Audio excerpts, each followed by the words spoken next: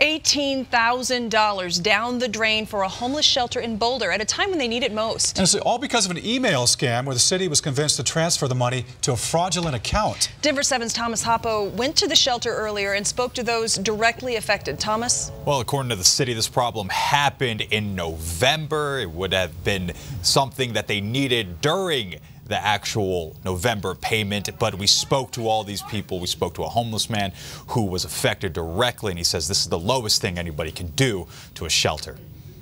Right here, I'm actually kind of out of the uh, elements. Scott, grateful for a roof over his head. Exactly. It could be hard being homeless in Boulder for two years. Just say I've had a lot of problems growing up that I've had to get put on disability for. Scott stays in front of this abandoned building. They do riding now and then. He stays here during the day, right next to the Boulder Shelter for the Homeless. Five to seven is the time they open up. And goes to the shelter to sleep at night, really? along with a hundred or more people.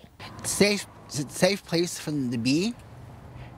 So that that way nobody bothers them, or nothing gets stolen.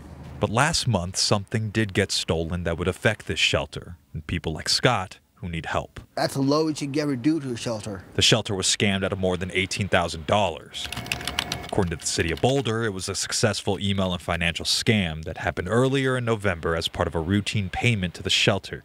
The city received an email about a changed bank account, and the $18,000 was transferred into a fraud account. The money will how it work?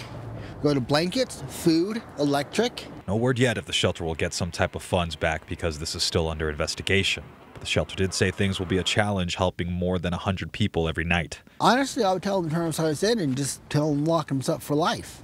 Honestly, if they if they want to steal like that, they belong in jail. And this payment, according to the shelter, is the payment it would have received for November as part of the contract it has with the city.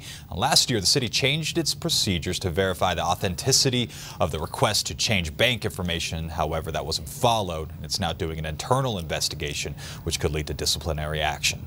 Thomas Hoppough, Denver 7. Someone needs to be held accountable. Thanks, Thomas.